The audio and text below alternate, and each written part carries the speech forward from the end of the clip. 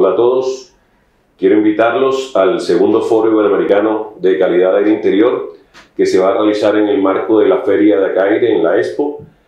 Conoceremos las tendencias que hay a nivel mundial en temas normativos y también en tecnología aplicada a nuestro tema. Así que están cordialmente invitados.